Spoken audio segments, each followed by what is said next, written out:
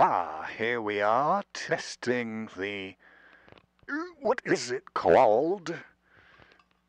The A119 external input with the trusty old microphone that and I am taking the envelope follower output and I'm using it to control the delay time on the Synthrotek delay.